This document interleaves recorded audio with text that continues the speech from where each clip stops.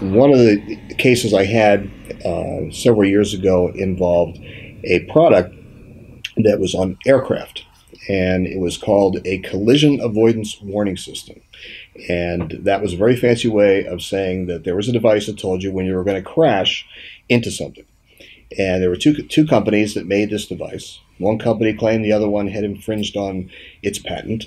And the question was were the two products the same?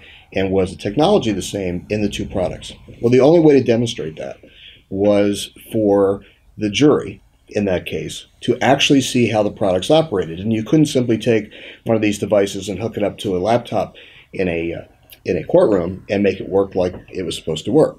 So we had to take a jury onto a plane uh, and literally aim the plane at a mountain so that the device would go off and there was a warning that came on that said terrain, terrain, and there were alarms that went off. And we had to take two different planes with two different juries to go up in the air, shoot them in a mountain, and see if they actually operated the same way. And that was the only way to determine if one product had actually been designed the same way as the other and infringed on it. That was one of the more interesting cases that, that I've had.